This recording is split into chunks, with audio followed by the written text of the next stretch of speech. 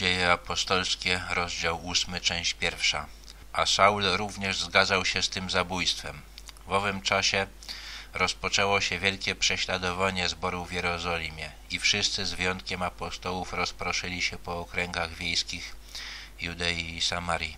Sprawa Szczepana ośmieliła przeciwników Kościoła. Udało im się kłopotliwego człowieka postawić przed Radą Najwyższą i udało im się go zabić. Zaczęli działać z wielką energią i członkowie Kościoła chronili się przed nimi poza miastem. Szczepana zaś pogrzebali bogobojni mężowie i opłakiwali go wielce. Żeby urządzić Szczepanowi publiczny pogrzeb, trzeba było dużej odwagi, także to nie było tak, że cały kościół ogarnęła panika. A Saul tępił zbór. Wchodził do domów, wywlekał mężczyzn i niewiasty i wtrącał do więzienia. Saul został wymieniony imiennie spośród wszystkich prześladowców, czyli można się domyślać, że był szczególnie gorliwy. Wtrącał wierzących do więzienia i pewnie stamtąd doprowadzano ich przed Radę Najwyższą i albo wypierali się swojej wiary, albo czekał ich taki los jak Szczepana. Wszakże ci, którzy się rozproszyli, szli z miejsca na miejsce i zwiastowali dobrą nowinę, a Filip dotarł do Samarii i głosił im Chrystusa.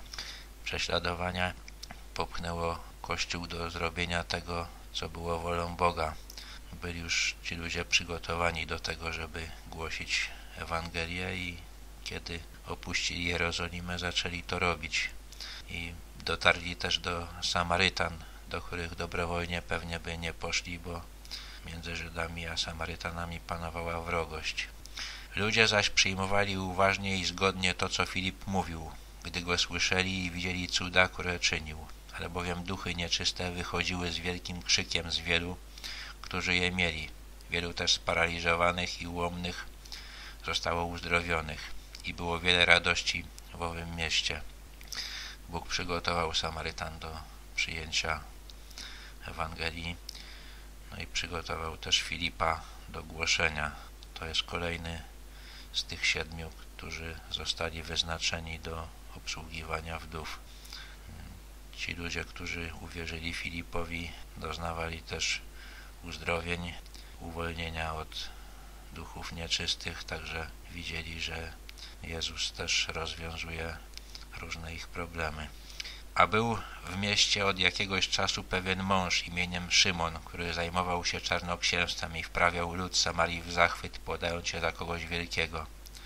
A wszyscy mali i wielcy liczyli się z nim, mówiąc, ten człowiek to moc Boża, która się nazywa wielka.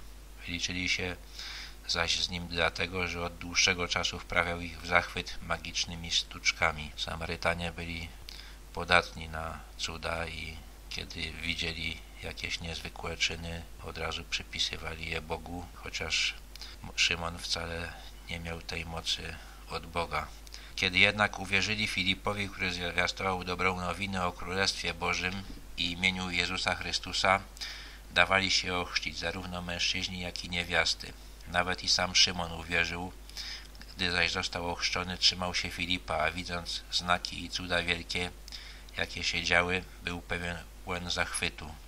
Cuda Filipa były jednak tak niezwykłe, że przekonały nie tylko Samarytana, ale samego Szymona.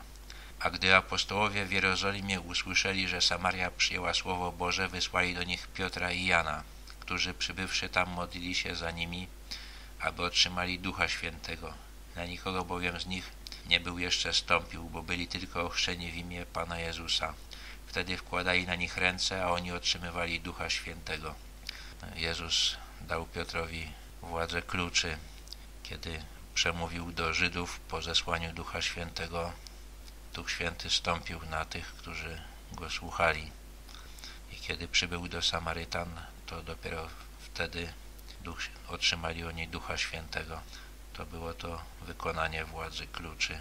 Dzięki temu też uniknięto rozłamu w tym kościele, który się zaczął tworzyć. Ta nienawiść między Samarytanami a Żydami nie przeniosła się do kościoła Samarytanie. Dzięki takiej demonstracji uznali autorytet apostołów. A gdy Szymon spostrzegł, że Duch Święty bywa udzielany przez wkładanie rąk apostołów, przyniósł im pieniądze i powiedział Dajcie im mnie tę moc, aby ten, na kogo ręce włożę, otrzymał Ducha Świętego.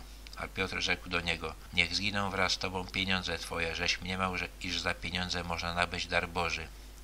Co się tyczy tej sprawy, to nie masz w niej cząstki ani udziału, gdyż serce twoje nie jest szczere wobec Boga. Przeto odwróć się od tej nieprawości swojej i proś Pana, czy nie mógłby Ci być odpuszczony zamysł serca Twego. Widzę bowiem, żeś pogrążony w gorzkiej żółci i więzach nieprawości.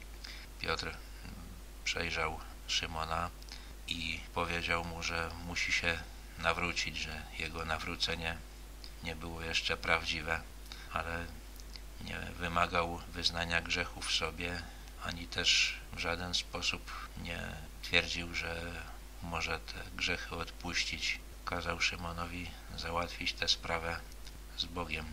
Szymon zaś odpowiedział i rzekł, módlcie się wy za mną do Pana, aby z tego na mnie nie przyszło nic, co powiedzieliście.